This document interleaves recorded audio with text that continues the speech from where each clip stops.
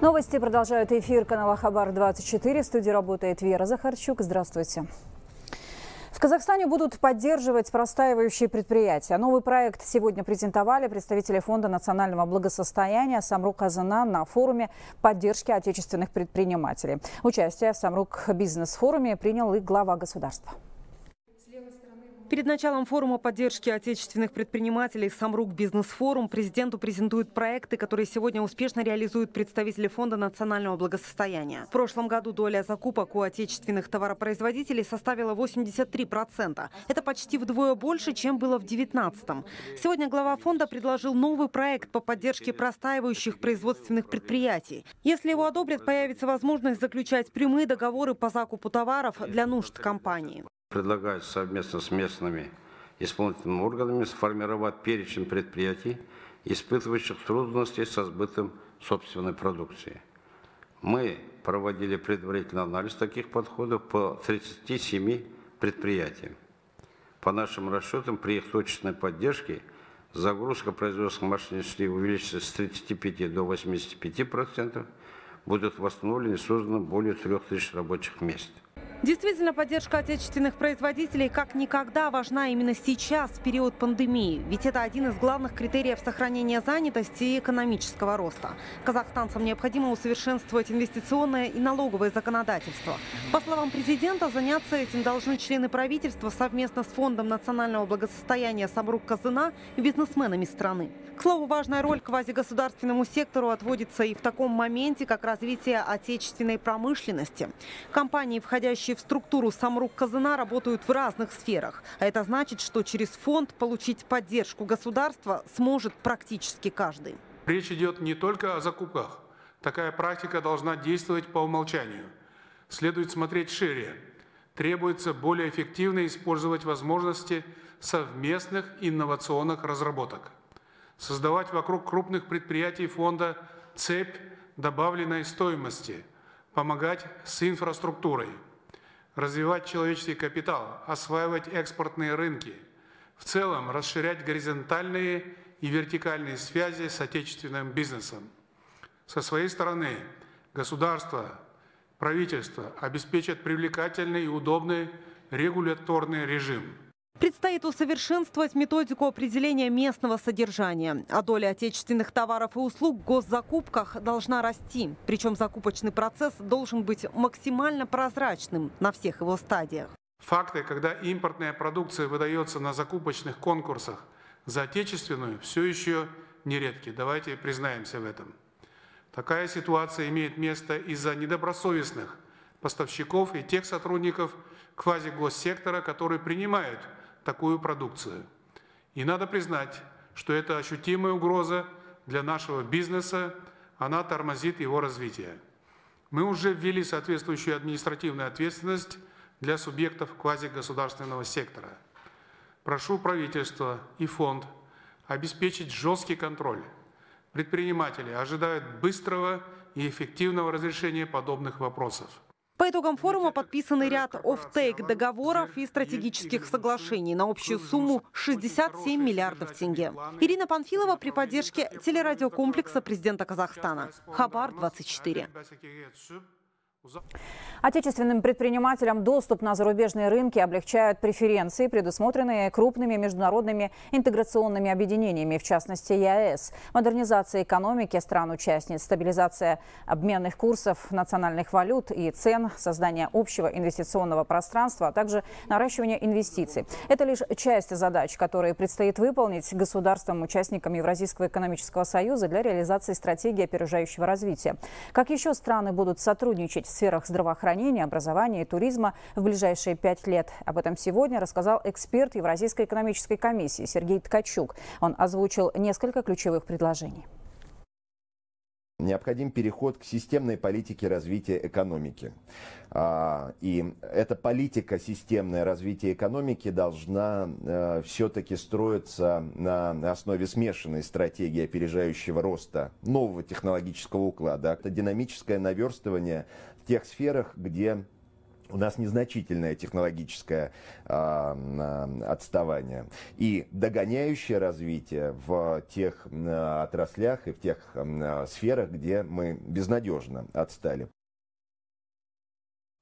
Больше 20 сотрудников Катон-Карагайской районной больницы в Восточном Казахстане добиваются выплат надбавок к заработной плате за 2020 год. Прошлогодний пик пандемии врачи и медсестры занимались реабилитацией 69 пациентов с COVID-19. Однако работа в опасных условиях, по словам медработников, так и осталась неоплаченной. Возмущенных врачей выслушал Вячеслав Ветлугин.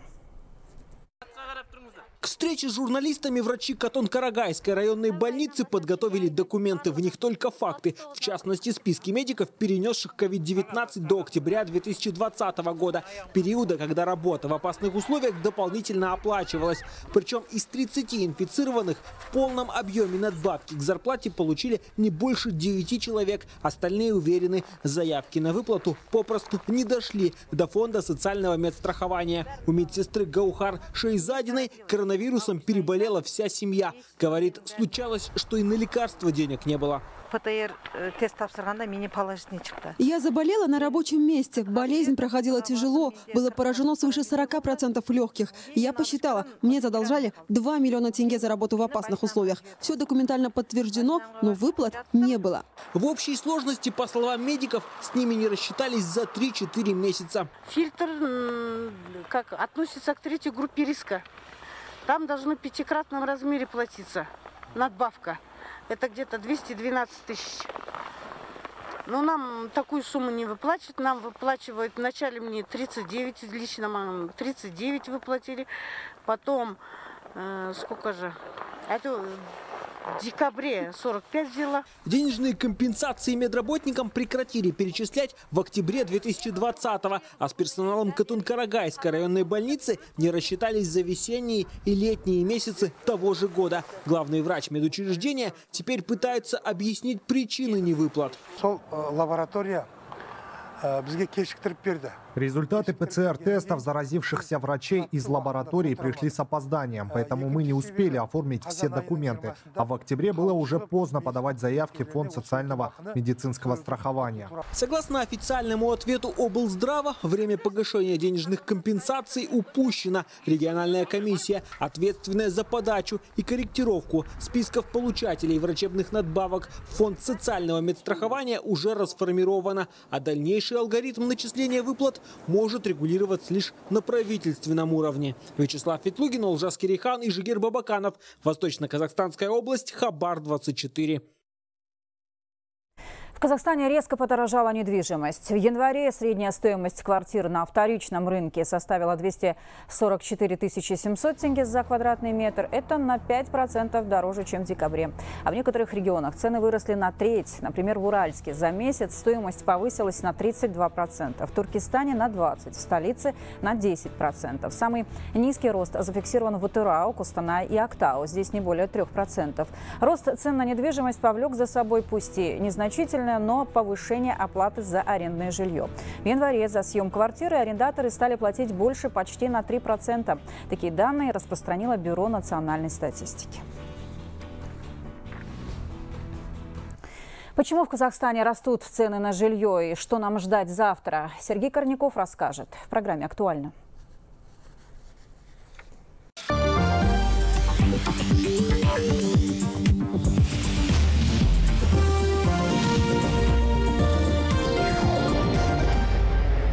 Вопреки всем прогнозам, в Казахстане продолжают расти цены на недвижимость. Только за январь стоимость первичного жилья выросла на 3%, вторичного сразу на 5%. За год квартиры подорожали еще больше. О ситуации и ожиданиях на рынке недвижимости расскажу в следующие несколько минут. Это актуально. Здравствуйте. Здравствуйте.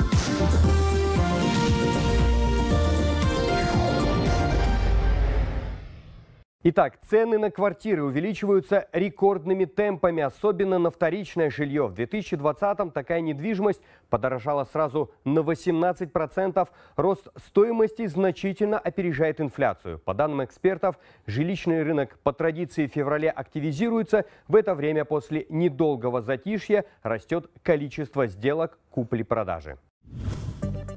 Вслед за повышением курса доллара владельцы корректируют стоимость своей недвижимости в сторону повышения. Очень редкие продавцы, кто прислушивается к мнению специалистов и реально относятся к ценообразованию своей недвижимости. Остальные своими действиями обрекают недвижимость на долгосрочную экспозицию. С января 2012 года новое жилье в Казахстане подорожало на 84%, а вторичное на 112%. Авторы телеграм-канала «Тингеномика» причиной последнего роста цен называют реформу пенсионной системы, позволяющей теперь гражданам использовать свои накопления для решения жилищных вопросов. Эксперты прогнозируют, что ожидания удорожания недвижимости могут формировать пузырь, когда фактическая стоимость квартир будет превышать ее справедливую цену. Формирование подобного пузыря на рынке недвижимости, помимо остального, имеет один существенный негативный экономический эффект в контексте проведенной реформы пенсионной системы. Заключается он в постепенном сокращении реальной покупательской способности большей части населения на рынке жилья. Из-за этого, по мнению экспертов, большинство населения все же не сможет улучшить свои жилищные условия. Собственную квартиру теперь будет купить сложнее людям, у которых недостаточно пенсионных накоплений для их использования. В свою очередь, другие эксперты увеличение цены на недвижимость назвали спекулятивным и прогнозируют снижение стоимости в ближайшие месяцы.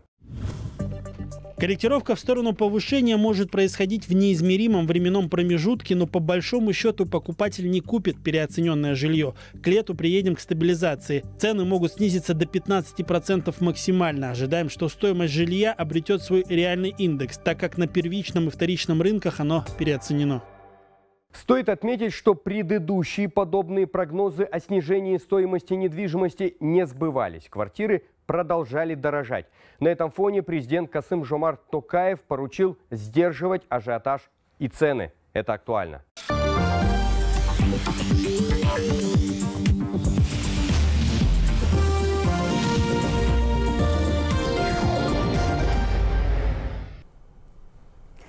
Квартиры, выданные казахстанцам с инвалидностью по госпрограмме, не соответствуют требованиям. С таким заявлением сегодня выступил сенатор Нариман Туригалиев.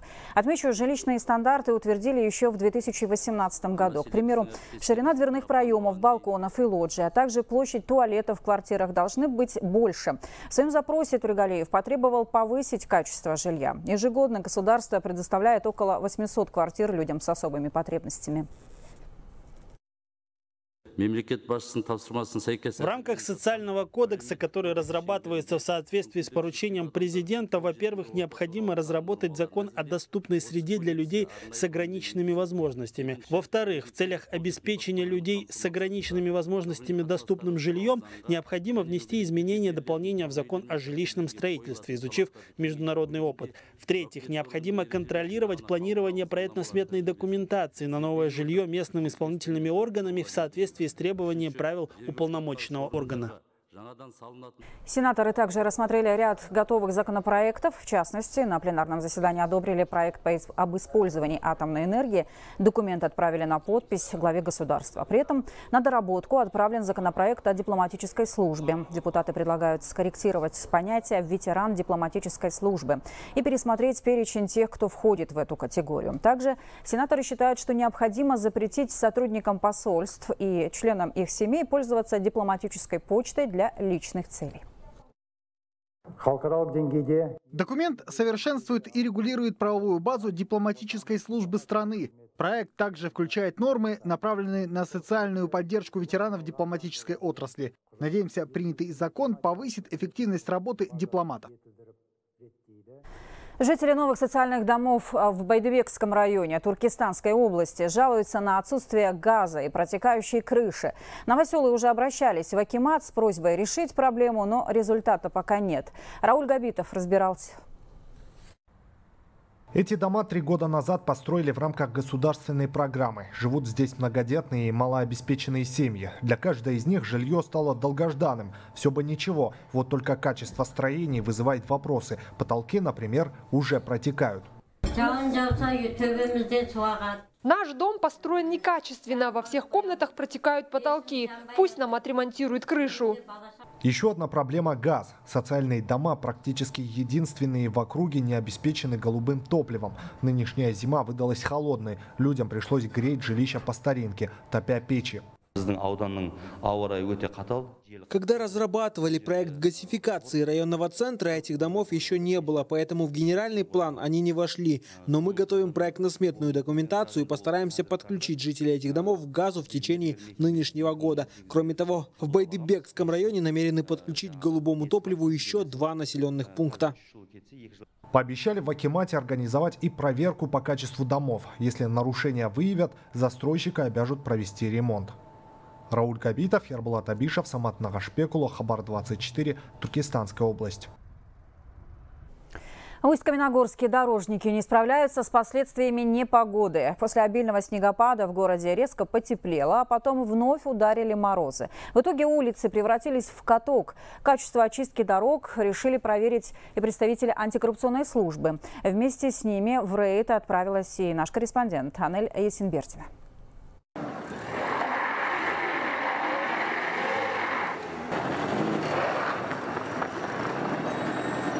Улице Мызы в Усть-Каменогорске этот проезд один из самых сложных. Машины тут буксуют буквально каждые пять минут. Чтобы объехать полосу препятствий, водители выезжают прямо на тротуары и создают угрозу для пешеходов. Между тем, в этом районе расположена школа, больница и детский сад. Айнур Бабаева как раз идет забрать детей. Многодетная мама уводит сюда сразу троих сыновей. Делится, переживает за их безопасность. А вот сами видите, вот э, состояние дороги. Сейчас гололед еще начался.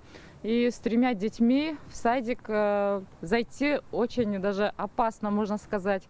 Э, боишься, вот вдруг что-то упадет, там сломает что-то себе и машины там. Если водитель не справится с управлением, последствия могут быть непоправимые. Беспокоятся родители и жалуются в социальных сетях. Поэтому сюда в первую очередь и отправились представители антикоррупционной службы. Подрядчики не скрывают. Ситуация непростая. Не только этот проект, везде такая.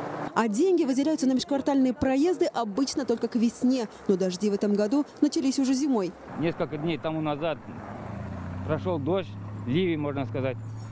Снег растаял. Вот вчерашнего дня 20 градусов мороза.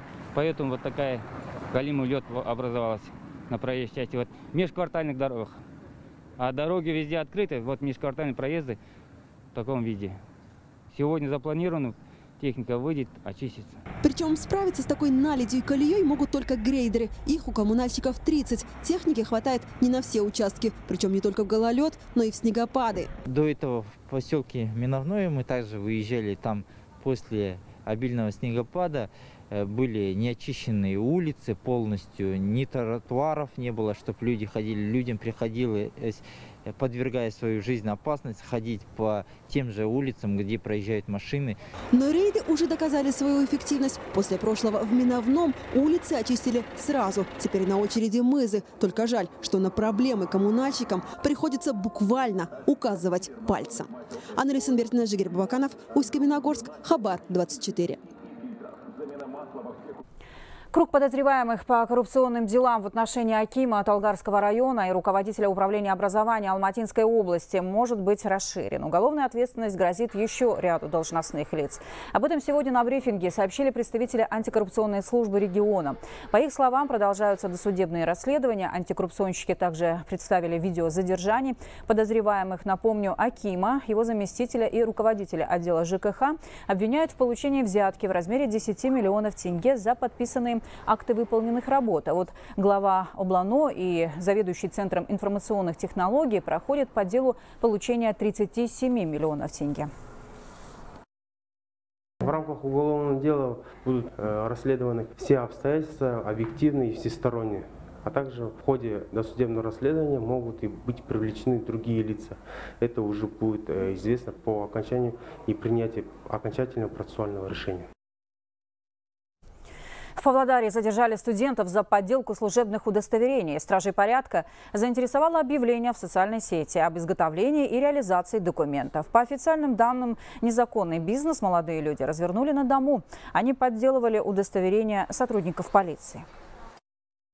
По данному факту начато досудебное расследование по статье 385 части 2 Уголовного кодекса Республики Казахстан. У данных лиц изъяты процессоры, принтеры, кроме удостоверений готовых, изъяты и обложки э, к удостоверению красного цвета. По данному факту назначена экспертиза.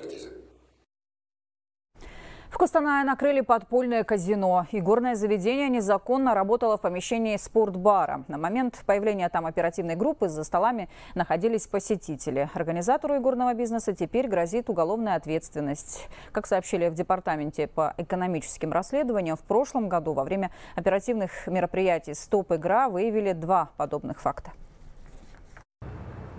В частности, в данном заведении проводились азартные карточные игры с использованием специального игрового оборудования. В настоящее время по указанному факту ведется досудебное расследование по статье 307 Уголовного кодекса Республики Казахстан. Казахстанским водителям аннулируют штрафы за отсутствие при себе документов на автомобиль, но при условии, что они не были уплачены до 13 февраля. Для того, чтобы воспользоваться такой услугой, правонарушители должны написать соответствующее заявление в полицию. После проведения проверки дело будет прекращено. Все это часть нововведений в законодательство, позволяющее уже с этой субботы управлять машиной, не имея при себе прав и техпаспорта.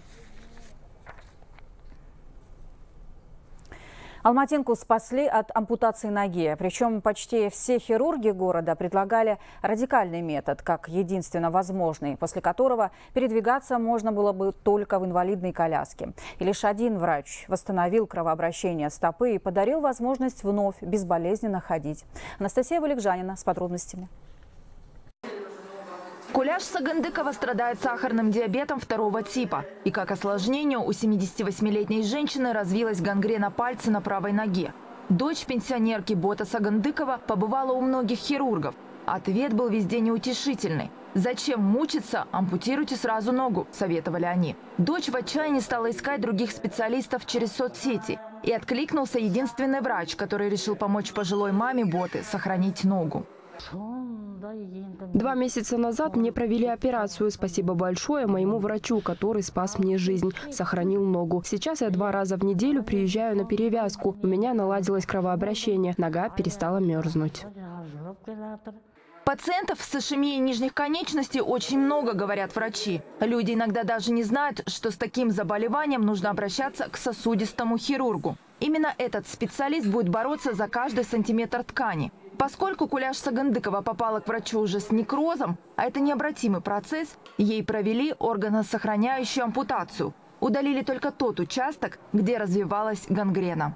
При сахарном диабете это идет поражение артерий малого и среднего калибра. Эти артерии, как правило, приобретают э, такой плотный характер. Их очень трудно ушить, их очень трудно открыть. Благодаря нашим еще эндоваскулярным хирургам, нам, нашей команде получилось открыть эти сосуды хотя бы так, чтобы кровоснабжался частично сосуд, э, стопа.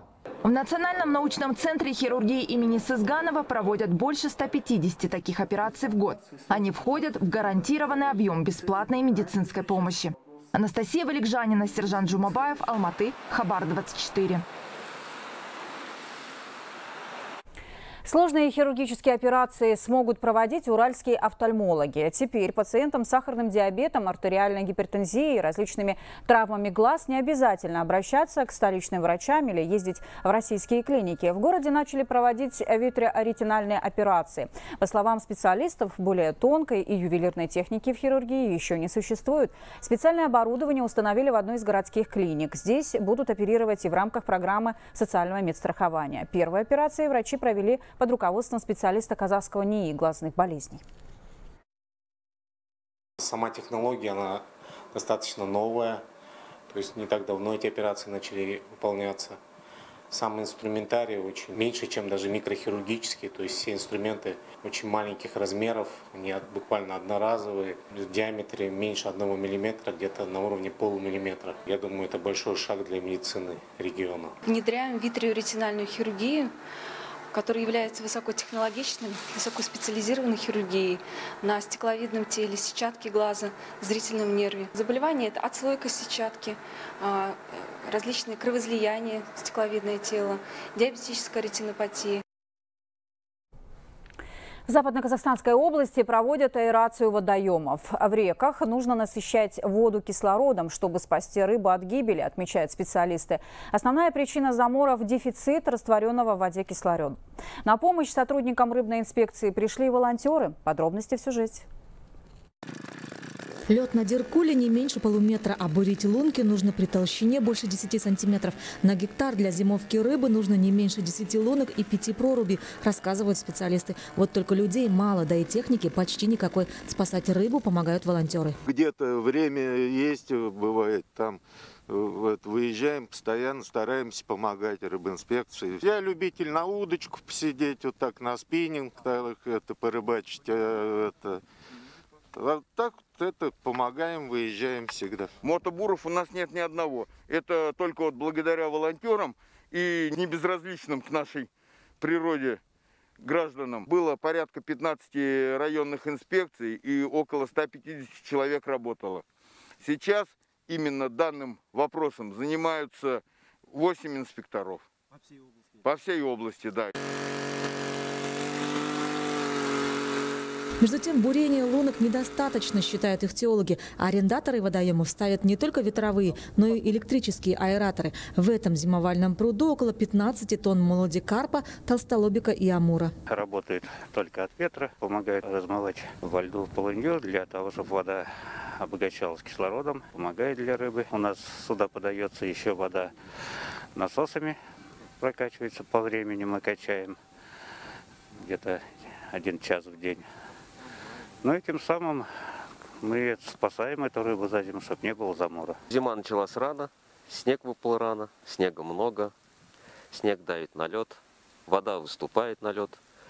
Заморы по области начались еще в декабре месяце, ну, на мелких водоемах особенно, на речках, на маленьких. В Джангалинском районе я точно знаю, что было, потому что, во-первых, там не было воды летом, осенью, озера практически высыхали. На Деркуле был замор, особенно вот выше там зеленые, расташи, ну, белес. Из 200 водоемов области в аренде участников всего 30. Из-за обмеления рек и озер опасности замора рыбы больше, поэтому помощь волонтеров сейчас нужна особенно. Потагос Базарбаева, Балат Шарлгасов, Канат Махмутов, Уральск, Хабар 24.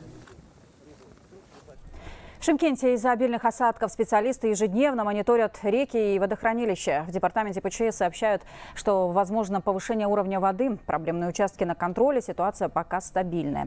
Особое внимание к рекам Бадам и Сайрамсу. Есть населенные пункты, которые расположены рядом с ними. Там постоянно проводятся берегоукрепительные работы. На территории мегаполиса имеется 4 водохранилища, 3 реки и более 30 каналов. Сейчас все специалисты перешли на усиленный режим работы, чтобы не допустить опасности опасной ситуации. Постоянно обновляются данные по запасам снега в горных районах. Сейчас идет больше осадков и в Туркестанской области, в горах осадка больше, и снега больше. Из, из этого есть опасения, да, вот э, может у, у, это, в реках улица уровень воды. Силы и средства департамента переданы на усиленный вариант несения службы. Подготовлена мобильная группа из 100 человек, 30 мотопомп и 580 мешков с песком. Покататься на лодке и собрать мусор. В столице Австралии все чаще можно увидеть отдыхающих с мусорным пакетом и сачком в руках.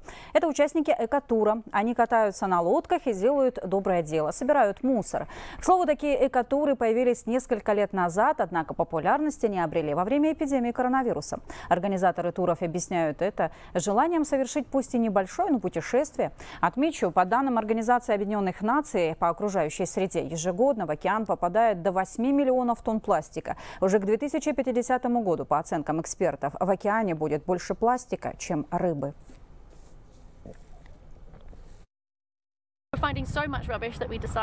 Особенно популярны наши туры стали именно во время эпидемии коронавируса. У нас было много желающих принять участие. Я думаю, все это из-за того, что сейчас люди не могут путешествовать и ищут чем заняться. Кроме того, что они собирают мусор, они могут насладиться прекрасными видами и свежим воздухом. Ну и в продолжении темы рыбы сразу после новостей смотрите программу «Проверено». Я отправилась на этой неделе на рынки столицы, чтобы узнать, кто и как проверяют рыбу. Что мы едим на самом деле. Это интересно, не пропустите.